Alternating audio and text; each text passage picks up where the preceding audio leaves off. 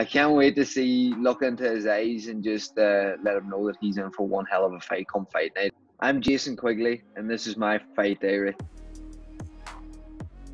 The mindset just completely changes once you touch down here, driving into the Mandalay Bay. You know, it's a it's a place that when I was younger, I used to watch all the big fights happening. Used to stay up to three or four in the morning to watch it.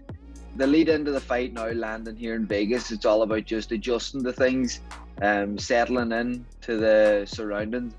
Once I arrive here in Vegas and I have a fight coming up, I always can switch on. Jet lag never really gets me too much because your mind's already switched on, it's focused, you're just ready for the fight. Whereas whenever I go back home, and you don't really have anything to do and you can lie about and get up at whatever time you want. You don't have to go to the gym.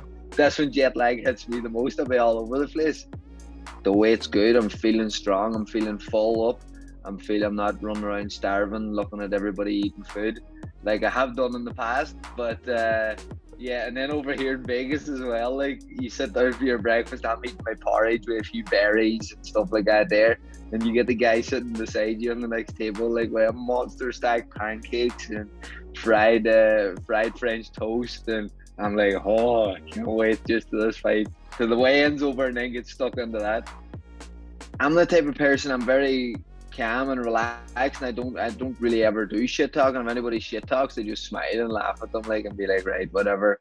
We'll sort this out come fight night.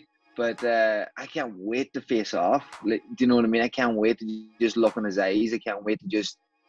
Uh, there's something about me. Like I just, I can't wait to see look into his eyes and just uh, let him know that he's in for one hell of a fight come fight night. I'm really looking forward to the face off, uh, the first face to face, and uh, then without a doubt looking forward to the weigh in and fueling back up and getting ready to put on a show come Saturday night.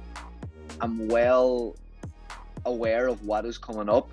Um, I know Mosley isn't really like a shit talker or you know anything along those lines either, so I kind of know what to expect from him. But then again, you always have to expect unexpected. This is a massive fight for him. He could be emotionally very invested in this fight. Something could could come out of him at a press conference, at the face to face, at the weigh-ins. But you know, I, I'm prepared for whatever it is, and come fight night, we're going to take care of business.